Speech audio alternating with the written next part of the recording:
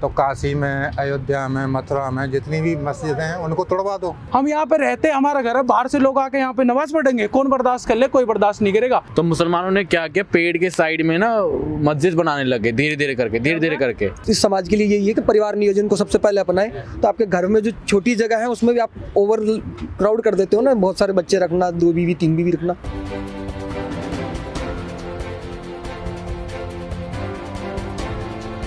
नमस्कार दोस्तों, मैं ऋषभ पटेल, हॉकफील्ड न्यूज़ से स्वागत करता हूँ आपका।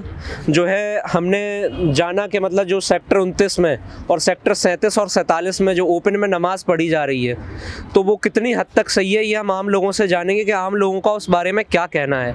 हमारे साथ जो है, ये भाई साहब मौजूद हैं, जिनसे हम जानेंगे कि जो है, जो मुस्लिम समुदाय ओपन में नमाज़ पढ़ रहा है, उसके बारे में आपका क्या कहना है?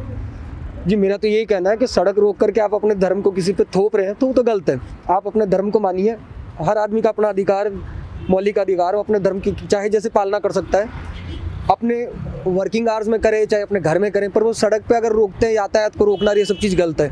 सबसे बढ़िया सुझाव तो मेरा इस समाज के लिए यही है कि परिवार नियोजन को सबसे पहले अपनाएँ तो आपके घर में जो छोटी जगह है, उसमें भी आप ओवर क्राउड कर देते हो ना, बहुत सारे बच्चे रखना, दो बीवी, तीन बीवी रखना। ठीक है, पुराने ज़माने में राजा महाराजाओं के रखते थे, पर राजा महाराजाओं का बजट होता था। एक आम आदमी को दो बच्चे पालने में स्कूल की फ़ीस भरना, रोज शाम को सब्ज़ी भाजी लेकर घर जाना, सुबह मीटर शुरू होता है, सुबह उठते ही सबसे पहले दूध से। तो आम आदमी के जीवन में कठिनाइयाँ इतनी है कि वो कमा तो ले पहले उसके लिए पर्याप्त। सड़क रोकना, बैठ जाना, उसके लिए सिंपल सी बात, आप नोएडा से, नोएडा में भी देख लीजिए और गुड़गांव में भी देख लीजिए। अगर आप जरा सा मिस कर देते हो ना रास्ता तो आपको एक किलोमीटर से लंबा यूटर्न लगाना पड़ता है। पेट्रोल का भाव सौ रुपये लीटर के ऊपर जा चुका है। तो आम आदमी कैसे परवड़ेगा वो? ये चीज़ और थी कि लोगों का ये भी कहना था कि जो है आप सौ रुपए का पेट्रोल अगर बर्बाद करके कहीं पे भीड़ लगा रहे हैं तो ये कहीं ना कहीं सही नहीं है। भैया आपका क्या कहना है इस बारे में? भाई जी मेरा नाम है परवीन हरसाना गुजर मैं विलेज बंदवाड़ी से गुड़गांव से। जी। मेरा कहना ये है कि जैसे ये हमारे मुस्लिम समुदाय के लोग हैं वो खुले में नमाज़ पढ़ते हैं वो बोलते हैं हमारे पास जगह नहीं है हमारे भी तो मंदिर है। हम कितने हैं? भाई, जितने गुड़गांव के अंदर मुस्लिम, मुसलमान समुदाय के लोग हैं, हमसे तो कम ही हम नब्बे परसेंट और दस परसेंट है। हमारे भी तो मंदिर है। हम भी तो मंदिर में जाते हैं। मंदिर में पूजा करते हैं। हमें तो कोई दिक्कत नहीं होती, नहीं तो हमें भिचकुच नहीं होती। हम कर लेते हम सुबह जाए शाम को वो भी तो पढ़ सकते हैं। एक एक मस्जिद तो है नहीं। आप जाओगे जहाँ पे मुसलमान रहते हैं, हर जगह मस्जिद है। हर जगह मस्जिद है खूब वहाँ पर सुबह भी पढ़ सकते हैं, शाम को चाहे तो पर उनको तो खुले में पढ़नी है। कोई भी चीज़ है, वो कानून सबके सबके लिए लागू होता है। चाहे वो हमें किसी भी है, जिसको किसी भी इंसान को प्रॉब्लम होती है, वो चीज़ गलत है, वो नहीं करे मैं तो यही कहना चाहता हूँ सबसे। और जो हमारे अभी खट्टर साहब ने बोला है कि खुले में बर्दाश्त नहीं करी जाएगी, नहीं करी जाएगी, भाई हमारी सरकार है, नहीं करी जाएगी। हम तो चाहेंगे ही नहीं, और कोई नहीं चाहेगा। वहाँ पे लोगों को, वहाँ पे जितने भी, वहाँ पे बच्चे रहते हैं, लड़कियाँ घूमती है, सोसाइटी एरिया है, वहाँ पे कौन पटलन देगा? कोई मुसलमान नहीं रहता। हम यहाँ पे रहते, हमारा घर है, बाहर से लोग आके यहाँ पे नमाज़ पढ़ेंगे। कौन बर्दाश्त कर ले, कोई बर्दाश्त नहीं करेगा। हम हम उनके इलाके में जाके वहाँ पे हवन कर सकते हैं क्या? कोई करने देगा हमको? कोई नहीं करने देगा। हम हवन की कुछ दो ईट लगा देंगे, जब वहाँ पे बवाल खड़ा हो जाएगा और वो यहाँ पे नमाज़ करते हैं। हमें प्रॉब्लम नहीं, अपने घर में करो, बोलते भी एक दिन होता नहीं, पढ़ सकते। हु होता है जब आप हफ़्ते में सात दिन होते हैं। आप छः दिन अपने घर में पढ़ रहे हो। घर में बैठ कर सातवें दिन भी पढ़ लो। और नहीं तो तुम्हारी मस्जिद है, मस्जिद तुमने परमिशन ले रखी है गवर्नमेंट से तुमने बना रखी है। वहाँ पे जाके पढ़ो। बारी बारी से पढ़ लो। तकलीफ़ तो झेलनी पड़ती है ना भाई, दूसरे को भी तो नहीं होनी चाहिए। भाई तुम तो अपने बारे में सोच रहे हो। भाई हमें तकलीफ़ हो रही है मस्जिद के अंदर है हमें तकलीफ़ हो रही है, हमको जगह नहीं है। अरे हमें भी तो तकलीफ़ हो रही है। हम क्यों पढ़ने दें? हम अपने मंदिर जाते हैं, अपने मंदिर में रहते हैं, हमारा मंदिर है। हमसे हमसे ज़्यादा तुम्हारी जनसंख्या नहीं है। गुड़गांव के अंदर। हमारी बहुत जनसंख्या है। हम अपने मंदिर में ही जाते हैं। और तुम तो एक टाइम मस्जिद में जाते हो। हम तो मंदिर में हर बार जाते हैं। हम सोमवार भी जाते हैं मंगल भी जाते हैं बुध भी जाते हैं शनिवार भी जाते हैं हम। फिर तुम भी वहाँ पर जाके पढ़ो। भाई जो चीज़ गलत है वो गलत है। मैं तो यही मानता हूँ। भैया आपका क्या कहना है इसमें मैं परवीन भाई की बातों से बिल्कुल सहमत हूँ। मैं ये कहना चाहता हूँ कि अगर तुम नमाज़ खुले में पढ़ सकते हो तो फिर ये मस्जिद बनाने का क्या फ़ायदा? अब तुम ये बाबरी मस्जिद पे जो लड़ रहे थे क्यों लड़ रहे हो? जब तुम खुले में पढ़ सकते हो मस्जिद की क्या ज़रूरत है? तुम वैसे ही नमाज़ पढ़ सकते हो। तो काशी में अयोध्या में मथुरा में जितनी भी मस्जिदें हैं उनको तोड़वा दो। भाई वो तो हो रहा है। हम आपको अलाउड कर रहे हैं। अब सरकार कर तो रही है। जो पहले अवैध कब्जे थे अवैध तरीके से मस्जिद बनाई जाती अब तोड़ तो रही है सरकार। वही हो रहा है। अब लोग बोल रहे हैं अब मीडिया में हम देखते रहते हैं हमारे योगी जी सीएम है उन्होंने बहुत सी जगह भी नाम चेंज किया है जगहों का। अब लोग परेशान है उनके सीधी भाषा में बोलूँ उनके दर्द नाम क्यों चेंज कर दिए? ये नाम तो पहले अब चेंज किए वापस वही नाम रख रहे जो पहले थे। जो पहले थे वही रखे जा रहे चेंज नहीं किए। पर लोगों की बात सुन सुन के इन ये चीज़ों भाई वही कर बर्दाश्त नहीं हो रही। इंडियन मुस्लिम हैं जो कन्वर्टेड हैं। आप वहाँ विदेशों में जाकर देखो कितनी सबूलियत से रहते हैं सबको मानते हैं हमारा दर, ओ, त्योहार मनाते हैं दिवाली होली सारे अब एक बात बताऊँ। हैं। लेकिन इंडियन में मैं एक बात मानता हूँ।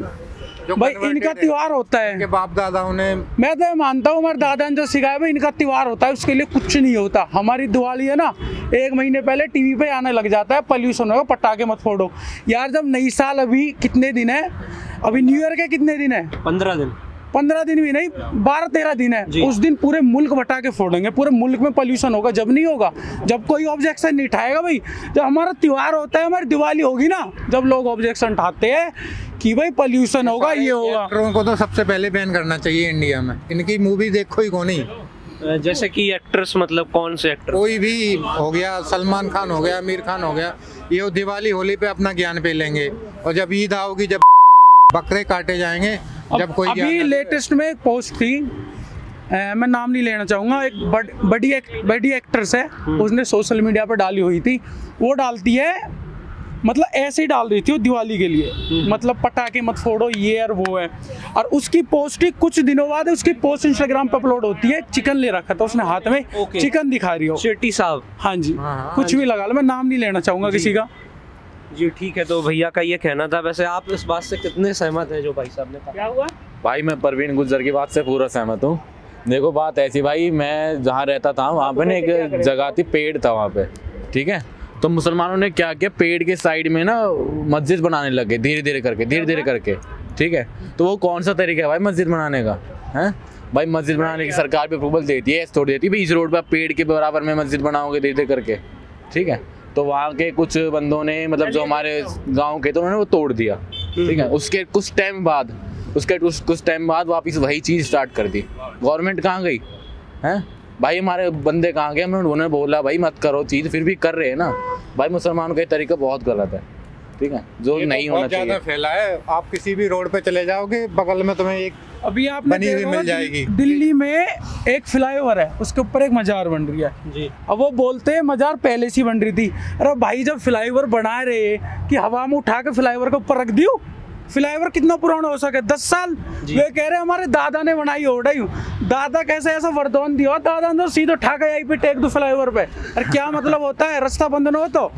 अभी छत अब जाओगे छतरपुर साइड जाओगे सी डी आर जी। हम बड़े हो गए वहाँ कुछ भी नहीं था एक पेड़ है कीकर का जो भाई बता रहे हैं भाई, भाई की बात बताऊँगा।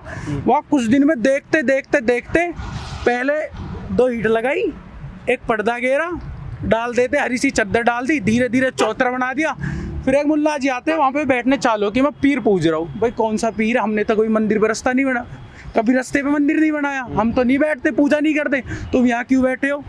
और हमारे हमारे धर्म पे सवाल उठाए जाते हैं। कोई हमारी कोई कपड़े पहन लेता है मतलब अब योगी जी की ड्रेस देखते हो हाँ। वो पहनते हैं लोग उस पर सवाल उठाते हैं भगवे कपड़े पे सवाल उठाते हैं। हम झंडा लहराते हैं उस पर सवाल उठाते हैं कि भाई ये झंडा अलग है। बताओ। बिल्कुल।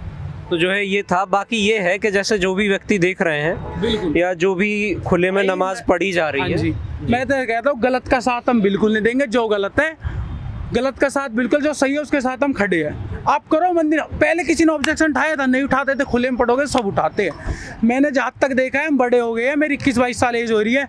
जहाँ तक हम देखते हैं ना, जब पाँच मुसलमान बैठ के नमाज़ पढ़ने लगते हैं ना, पाँच से दस हो जाए, दस से बारह बारह से पचास हो जाते हैं। और कुछ दिन में ही धीरे धीरे वहाँ पे एक मस्जिद बन के तैयार हो जाती है पता भी नहीं चलता। अब लोग जागरूक हो रहे हैं सोशल मीडिया की वजह से पता लग रहा है। नहीं तो इतनी मस्जिद फैली इतनी मस्जिद बन चुकी है गुड़गांव के अंदर बहुत है। अरे लोग बोलते हैं कि मस्जिद नहीं है हमारे पास जगह नहीं है कि हम नमाज़ पढ़ सके। ये बिल्कुल गलत है। मैं तो कहता हूँ गवर्नमेंट को इनके गवर्नमेंट को इनके खिलाफ कार्रवाई करनी चाहिए जो बेफालतू है है। कि अगर तुम खुले में नमाज़ पढ़ सकते हो मस्जिद की क्या ज़रूरत है? फिर हाँ। हमें दे दो। जो मथुरा में है काशी विश्वनाथ में है उनको हमें दे दो क्या? दो। हम ऑब्जेक्शन नहीं उठा रहे हैं खुले में पढ़ो भाई तुम। लेकिन मस्जिद तो खत्म करवा दो। वहाँ मंदिर है थे हमारे जो पूर्वजों ने बनवाए थे वो बनवाओ। है मतलब भाई साहब का ये कहना है कि जो है अगर आप खुले में नमाज़ पढ़ रहे हो तो जो है फिर मस्जिदें हमें दे दो हम वहाँ पे मंदिर जो है मंदिर बना हम मंदिर बना लेंगे। आप खुले में भाई जब आप मस्जिद में नहीं पढ़ सकते आप खुले में पढ़ते हो भाई एक जुम्मे की नमाज़ आपकी सात दिन होती है। भाई घर में सब कर सकता है। भगवान भगवान सबके अंदर होता है दिल में होता है मन में होता है श्रद्धा में होता है। वो ये नहीं है उसी जगह के बैठ के दस बंदे बैठेंगे जब भी भगवान प्रकट होंगे। भगवान सबका एक ही है? हम उन्हें, भगवान सबका एक है आप अकेले कमरे में बैठ के भी ना, आप मन से बोलते हो ना, वो भगवान से आप सात दिन, हफ़्ते में छह दिन करते जब भगवान से नहीं मिलते, या सातवें दिन, जुम्मे वाले दिन ही भगवान सीधा भाई ऊपर से प्रकट होता है, आपको दर्शन देता है। भाई, ऐसा कुछ नहीं है। वो एक, वो बस एक जो इलेक्शन इलेक्शन के लिए भी बात आती है ना, लोग अलझा रहे हैं। इंसान कर भी सकते हैं, बस कुछ होते हैं ना, अपने ही समाज में कुछ गंदगी होती है, और गंदगी उसका फ़ायदा उठाती है उनके साथ साथ वो वाली बात है। नहीं तो इंसान अपने घर में बैठ के पूजा कर सकता है। भगवान हर जगह है। उनका भगवान भी सारे भगवान है। कि हम किसी धर्म को लेकर बात नहीं करें। पर जो गलत है, उसके खिलाफ हम है। गुड़गांव के मैं ही नहीं, मेरे भी युवा साथी वो बहुत खिलाफ है। हमारे यहाँ पे भी सेम प्रोसेस हुआ था। कुछ लोग आए थे, बैठे, पाँच छः बैठे, उलावास की बात कर रहा हूँ मैं। पाँच छः बैठे, फिर दस हुए। दस से पंद्रह हुए। हम देख रहे थे। इग्नोर कर दिया, वैसे ही बैठ लेते ड्राइवर थे जब टैक्सी पैक्सी वाले होते, फिर धीरे धीरे पचास साठ आदमी, डेढ़ सौ हो गए। फिर हमको पता लगा, पूरे गाँव के कम से कम हमारे छः सात गाँव गुजरों के सब इकट्ठे हुए। सबने बात की जो उनको खदेड़ा था वहाँ से। हमने इनसे भैया से जाना, जो कि मतलब बिल्कुल भी सहमत नहीं थे, ये जो चीज़ें चल रही हैं। जो है और जो भी चीज़ें हैं, हमने आम लोगों से बात करी, उनसे, उन्होंने बताया कि कैसे इन चीज़ों में सुधार किया जा सकता है और जो भी चीज़ें खुले में नमाज़ पढ़ना कुल मिला के सही नहीं है, उनका ये भी कहना है कि जो है हम भी तो मंदिरों में जो है जाते हैं, अपने मंदिर, हमारे स्थल हैं, हम मंदिरों में जाते हैं, हम घर में पूजा करते हैं और जो है हृदय में भगवान बसता है, ना कि किसी जगह जाकर भगवान बसता है। तो ऐसा इनका कहना था और भैया ने बहुत अच्छे से हमें विस्तार में बताई चीज़ें। तो इसी के साथ कैमरामैन देव कुमार के साथ मैं ऋषभ पटेल, हॉकफील्ड न्यूज़, धन्यवाद।